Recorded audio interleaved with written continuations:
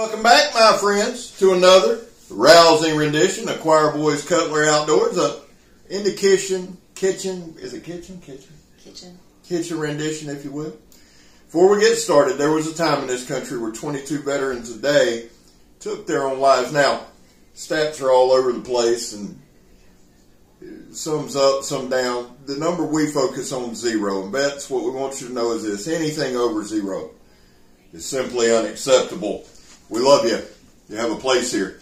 We're back to blue over here with Sport Leo. How do we do that, Megatron? We don't break the damn law. That's correct. And finally, if you're an addict, never quit quitting. So, we got some new knives today, some Christmas presents. Ready? These are from Joe, I love you. I'm not calling you Joe Steel. That's like Buck Naked or something. I mean, I love you. I love the, the thought. I love the new name change.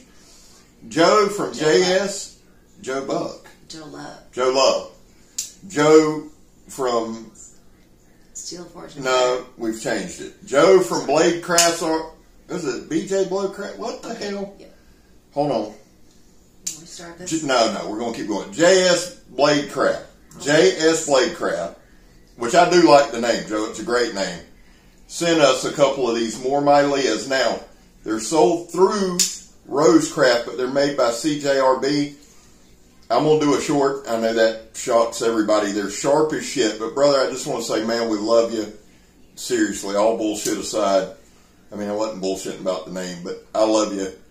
Megan loves you. You're a friend and a brother. Thank you. you so much. Merry Christmas to you and yours. Guys, I'm Scab. I'm Megatron. You're not. We're gone, son. Love y'all.